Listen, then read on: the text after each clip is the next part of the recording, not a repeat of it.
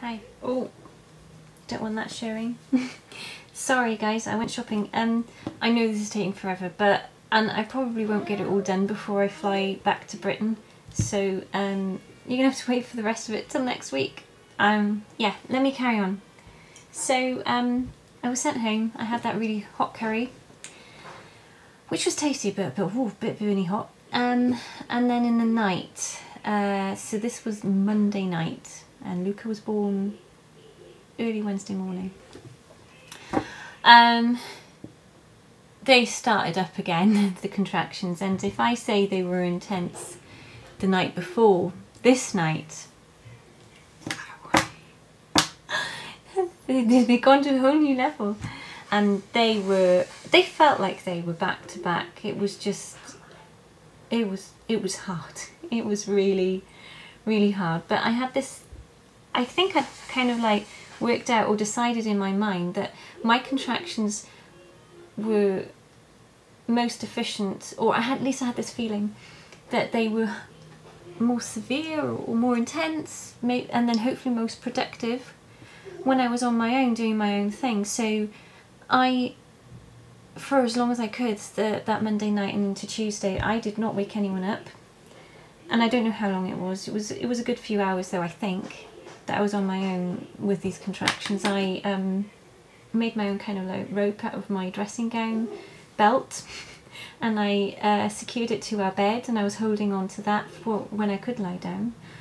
Um, uh, having these contractions, I was, I don't know how I did this because they were really painful. Uh, I didn't make any noise. I know what I was doing. I was nuts. I didn't want to wake anyone up because I had this thing, if I wake someone up, they'll go away. So I was determined to be quiet and just get on with it. And uh, I got to this, I don't know how long it was, I, I couldn't handle them quietly on my own anymore, so I went and had a bath again in the middle of the night. And um, I think I was whimpering in the bath, or my, the water, sound of the water running, something woke my mum up, and she came in and was just like, um, bear in mind, my mum had four kids, all of them without any pain. She's like, yeah, painkiller. And she's like, what on earth are you doing? And I was just, I wasn't crying yet, but I was just like, I thought they'd be best if I was on my own, or they'd work better. And she's like, okay, let, let, you know, she's trying to help me through it. So my mum took this night shift this night. And um, she was like, yeah, you do, you're doing this really well. I was like, I want to stay here as long as I possibly can. I said, don't make me go anywhere until like you you think he's coming almost now or something. Because I, I, said I don't want to be sent home again. No, it was like almost tearful at this. I said I just don't want them to send me home again. Um, so um, my mum taught me this this technique that she'd used. She was she counted through her contractions, and um, as a, quite a few of you, you know, I'm a linguist, and uh, I so I was first counting through the contractions in English, and then I tried in German because the more I had to think about the mental act of counting through them uh, in another language, the better it was. I more had to focus on something mental. Uh, but German was too easy as well. So then I went on to French, which I'm also, well, I've got a master's in it, so I suppose my French can't be that bad. Uh, and that wasn't enough then. And then I went into Italian. I really, I did Italian years and years and years ago, and not to a very high level. Um, but I suppose at a push, yeah, I can count to over 100, which I think I was trying to. And that worked brilliantly because I had to really think like, oh, what is 22 in Italian? And what is 32? And that was fab. uh, but they were really, really close. Um, sorry, just checking if my husband's coming back. It's weird to talk about this in front of him. And they were very, very intense. And my mum was like, I think you should wake your husband up now. Um, you need to go to the hospital. And like, um, no, no, I'm not going yet. And she kept saying this. She said, Robert, I really think you need to go. You, should, you might have him here. and I was like, oh, doesn't really bother. I was at this point, I really didn't care. And actually questioning if, if going into the clinic was a good idea after all. I'm like, oh, I'll just have him here uh, you know, I was a bit mental. Um, but the white light was, you know, there, good. The counting was good. And um, I could tell they were getting more intense and more. They must be getting more effective, was what I was thinking, because when you count through the contraction, you know how long the contraction's lasting, and they were lasting longer, and they were getting closer and closer together.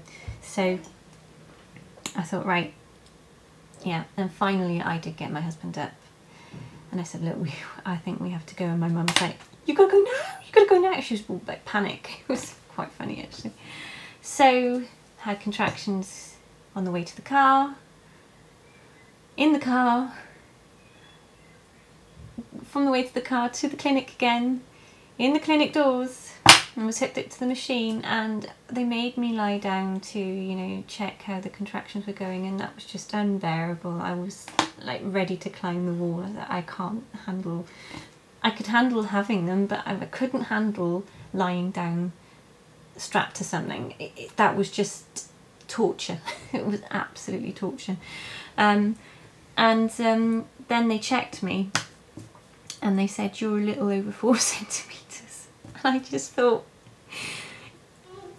and I really get upset thinking about it. No, I was just like, I can't keep going, if it keeps going on like this, a night to move, what, one centimetre? So I'm going to be here next week is what how I felt. And, and she said, look, um, uh, there's I don't know what exactly it was called, but she said there's something we can do to widen the the how far you dilate it or something, or he said it won't, it will barely have any effect, but it might help a bit. And she said it might move things up, but she, but she said I warn you, it's going to hurt. And I'm like, do it. I don't care. Do it. and so she did it, and it did, did really hurt. And yeah, it really, really did hurt. But I, I handled it. Um, and uh, then they, they said, yeah, you can't, and, and they, they did uh, promise me, they said, we will not send you home anymore. She said, you're too far, you know, into the process and they're very close together. But they, um, they stopped again a bit, really. I mean, they didn't completely stop ever now after this point, but um, it got to the point where they were definitely slowing down. And so we got into the clinic seven o'clock in the morning and then four o'clock that afternoon. I went that long trying to handle it myself and not asking for anything and I hadn't even like taken a paracetamol to this point. And um, I, I pressed the buzzer. I reached my point where I just thought they need to do something. I can't take any more of this.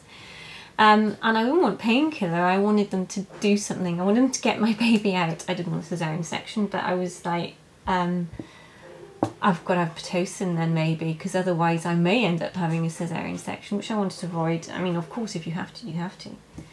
But um, my midwife then, the one who I did my kind of pre-birthing class with, came in, and the second I saw her, I just, I crumbled, and I said, it's quite emotional, sorry. And I asked how she was. And she was like, what is wrong with you? How are you? Um, you mental person. And I'm like, I said, I don't think I can do it like this anymore. And she said, yeah, um, she said, um, we've been talking about this for quite a while now. And she said, but if you, told us not to offer you anything, but I really think it's time for some painkiller and you need to sleep. She said, because if you don't sleep, you're not going to be able to do this. And I was like, yeah, okay, I was just totally mad. I was like, well, what do you suggest then? She said, well, you can either have a really strong painkiller that Luca will also make him feel a bit drugged up. I can't remember what it was called. Or you can have an epidural. And I said, I want whatever affects Luca the least. I really wasn't thinking. I was just thinking of something, any move forward. And this is totally against what my original birth plan was. But um, things had been taking a long time. I mean, I'm, I'd been in labour for several nights by this point and was at the end of my tether. And uh, I said, look, can you, I can't believe I asked, I said, but you're going to have to give me Pitocin. I said, because I need help to get these contractions going and I don't have the energy to go up and down the stairs anymore. Um, I want to, you know, I want to keep my energy to push them out and I'm, I'm worried that I'm not going to have it. Um, yeah, this is going to go on to another part four. I probably won't get it done, but bye guys.